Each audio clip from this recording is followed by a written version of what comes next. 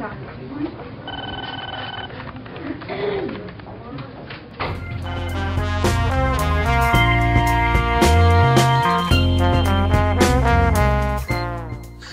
muy buenas. Es que no cambian, ¿eh? Es que lo llevan en sus genes políticos.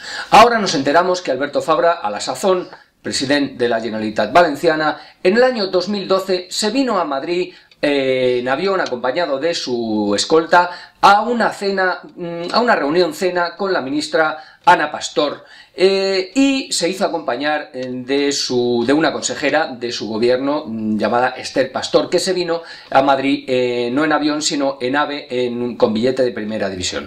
esto no es raro, o sea, hasta aquí no hay nada. Este viaje, por cierto, que consta como un viaje privado particular, em, no es raro, no es raro. Digo, bueno, pues ya viene a Madrid y no sé qué. No, lo raro es que paralelamente eh, hizo que su chofer se trasladara a la capital, a Madrid, en el coche privado para luego llevarle hasta el restaurante donde tenía lugar la cena, donde tuvo lugar la cena con la ministra eh, Ana Pastor.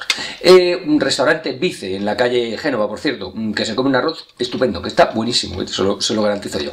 Em, luego, después de eso, el ministro, eh, uy, perdón, el ministro Alberto Fabra eh, y la consejera de su gobierno eh, durmieron en un hotel de los buenos, de los de lo guay, de los de Atutiplén. En cambio, el chofer y el escolta durmieron en otro hotel de menor calidad, posiblemente, de esos eh, los que te, de los que te ponen el champú, en vez de en un bote de plástico de los buenos, de los guays, te lo ponen en un sobre de, de papel de esos, como si fueran las toallitas que te dan en los restaurantes para después de cuando comen marisco. Pues de esos. Mm, y además el hotel del chofer y del escolta estaba a tomar por culo del que eh, eligieron el señor Fabra y la consejera eh, Esther Pastor eh, para dormir. Con lo cual digo yo, ¿para qué quieres una escolta?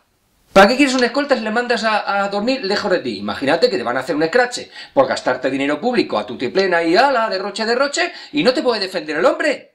¡Ay, qué poca cabeza! Bueno, esto sucedió en abril del año 2012, nos hemos enterado ahora, pero es que lo mismo volvió a suceder en junio del mismo año, pero este caso, en este caso cambió la ministra con la que se reunió, con la que comió eh, Alberto Fabra. En este caso, en junio lo hizo con Ana Mato, con la ministra Ana Mato. Y el restaurante que eligieron eh, fue uno de la calle Sagasta, que se llama La Manduca de Aceagra, que por cierto se comen unas alcachofas y unos pimientos que están que te cagas, lo digo yo. Eh, bueno, pues sucedió exactamente lo mismo. Vamos a ver, si te pones a echar cuentas el dinero que se, que se gastaría en los dos viajes y tal, pues a lo mejor no pasó en los 3.000 euros. Que, hombre, el dinero, pero bueno, para, para, para un gasto de, de, una generalitat, del presidente de una generalitat, pues no es mucho. Pero es que va más allá, es lo que significa. Significa que eso de gastar dinero, que es de todos porque es de todos, dinero público, pues que da igual, que parece que no es de nadie, pues se gasta. Entonces, a lo mejor no lo he vuelto a hacer, aunque imagino lo que imagino. Mm, pero lo que significa es el poco respeto que se tiene por lo que es de todo el mundo. Es dinero de todo el mundo, son las arcas públicas.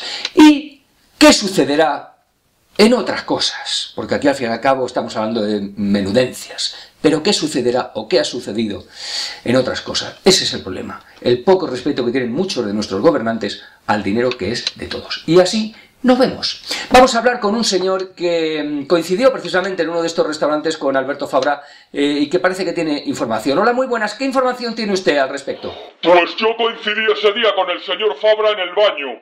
Él no me vio porque yo estaba en la cabina, ya sabe. No, no, no lo sé. Sí, coño, que estaba que no estaba haciendo pis precisamente, vamos. No, no lo pillo, pero bueno, da igual. Eh, ¿Qué pasó entonces? Bueno, pues que cuando salí vi que después de hacer pis el señor Fabra no se lavó las manos y luego lo mismo pienso que se la llegó a estrechar a la ministra cuando se despidió y no creo yo que eso esté bien en un cargo público. Pues nada, pues tiene usted absolutamente toda la razón. Muchísimas gracias por haber eh, hablado con nosotros, por habernos aportado esta importantísima, interesantísima información y a mí ya no me queda nada más que decir adiós, pero para ello me quiero despedir. Y quiero hacerlo dejando aquí un bello poema dedicado al presidente eh, Alberto Fabra, que dice así. Por más que me pregunto, no encuentro la razón. Hay que dolor. No encuentro la razón. Hay que dolor. Hay que dolor. Hay que dolor.